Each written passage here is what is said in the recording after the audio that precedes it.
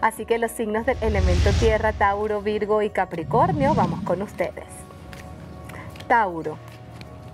Si eres del signo de Tauro, me dicen las cartas que tú desde estos momentos te sientes un poco tímido, un poco en pausa y el mes de noviembre para ti puede tratarse hasta de aburrimiento. La rutina va a estar a flor de piel para el signo de Tauro.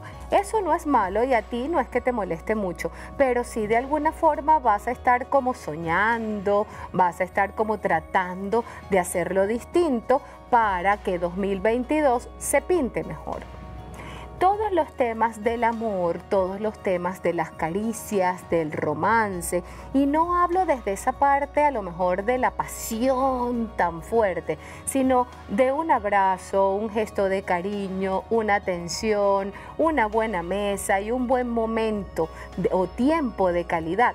Para ti va a ser como, uff, el alimento, el dulce que necesitas.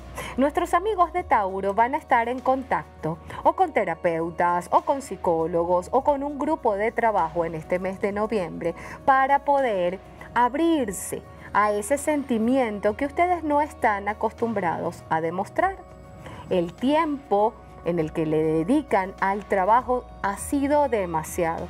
Y se han dado cuenta, y en el mes de noviembre lo van a entender muchísimo más, que también es importante esos momentos en el que cada uno de ustedes necesitan conversar, pausar, disfrutar del cielo, del sol, de la brisa.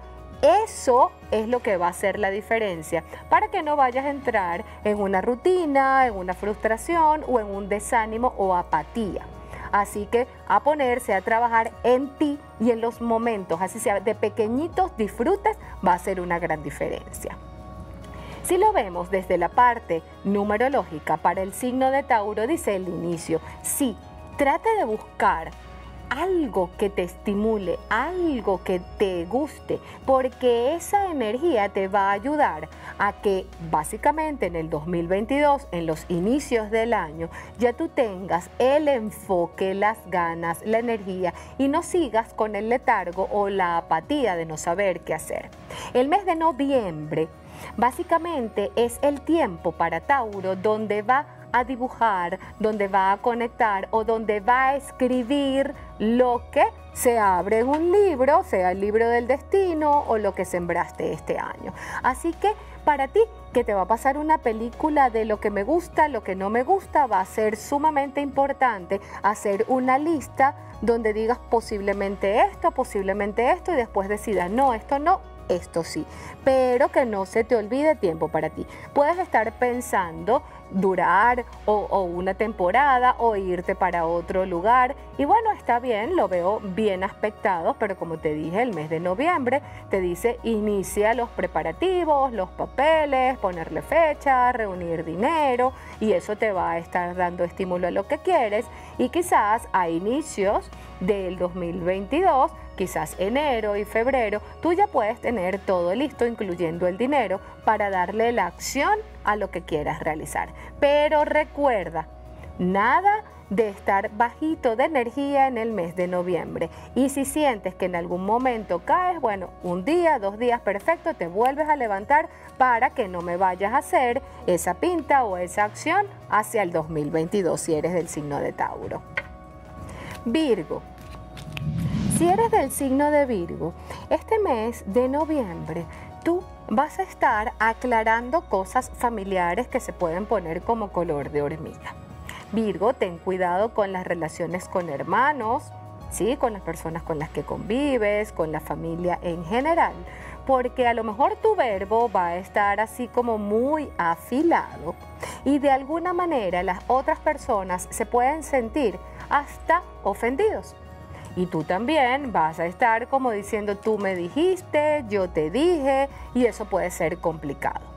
Para Virgo, en estos momentos hay que cuidar el mes de noviembre la comunicación. No es lo que dices, es cómo lo vas a decir en el mes de noviembre y cómo se acercan a ti.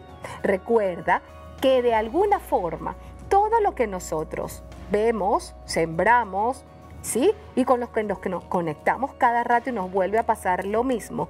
Básicamente es un espejo de lo que llevas a nivel subconsciente.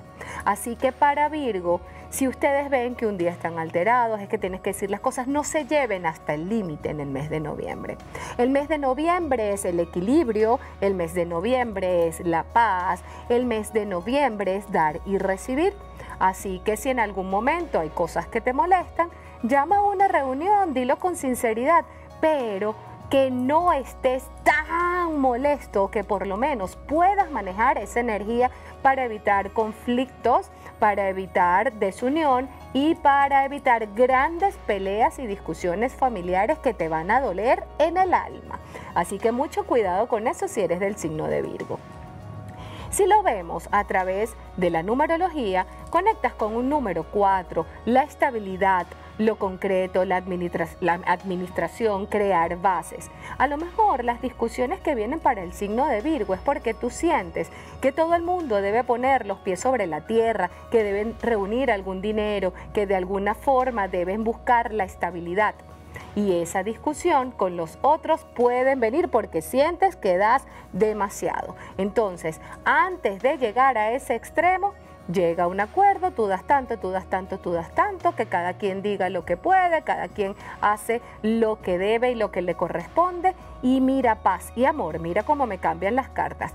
Todo es cuestión de actitud, así que para Virgo es sumamente importante no decir las cosas de mala gana. Si tú de alguna forma lo pides por debajito, con inteligencia, poniendo límites y con la seriedad que te caracteriza, mira, todo el mundo va a dar de su parte, el dinero está perfecto, te sobra un poquito más, las cosas se estabilizan en el hogar o en la familia y me va a ir muy bien, o mejor dicho, te va a ir muy bien. Yo me incluyo ahí porque soy del signo de Virgo, así que estamos advertidos con esas cositas donde a veces nos ponemos un poquito frío y lo certifico.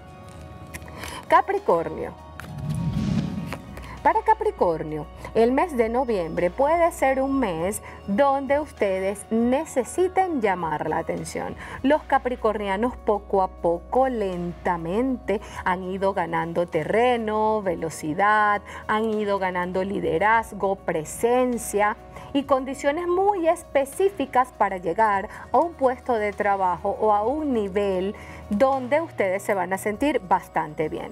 Los capricornianos de alguna forma van a estar todo el mes de noviembre reunidos y reunidos y hablando y reunidos, como que si no se cansaran de poner orden, organizar y planificar. Y eso los puede llevar a muchísimo cansancio. Hay que cuidar para ustedes Capricornio, que además es el área sensible del signo por naturaleza, la zona de los huesos dolor en el cuerpo, las articulaciones, las manos. Y aunque creas en el mes de noviembre que es puro estrés, la salud también te puede decir, atiéndeme por favor porque nunca tienes tiempo para mí. Si lo vemos desde la parte de la numerología, conectas con un número 9, la vibración de la hiperactividad, el servicio, el oficio, el entregarme con pasión y con extrema urgencia, ayudar a todo el mundo a hacer, hacer, hacer, hacer y por supuesto que de repente ¡puc! la salud se puede partir y con eso no se juega si eres del signo de Capricornio. Así que como tienes tanto tiempo para marcar territorio, para ser líder, para organizar, para planificar, también debes buscar el tiempo para cuidarte, ¿sí? Para ir al médico o para prestarle la atención a los malestares físicos si eres del signo de Capricornio. Me dicen también las cartas, y es que fíjate que por todos lados van a estar como tajantes, tajantes, tajantes, que hay que buscar un equilibrio entre la sutileza, ¿sí? Las ganas de hacer las cosas bonitas y no solo el tiempo del horario, las estructuras, las leyes, que se haga todo correcto. Es como demasiado. No te vayas a los excesos si eres del signo de Capricornio y recuerda, equilibrio con la salud. Ten cuidado con caídas, ten cuidado con mareos o con golpes muy fuertes o dolores en las articulaciones que vas a tener que atender. Lo más importante ahorita es la salud todo lo demás llega por añadidura.